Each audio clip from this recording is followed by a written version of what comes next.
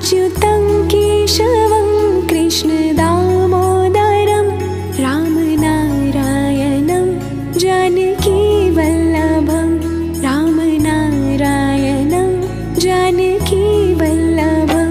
कौन कहते हैं भगवान् आते नहीं। कौन कहते हैं भगवान आते नहीं। तुम मीरा की जैसे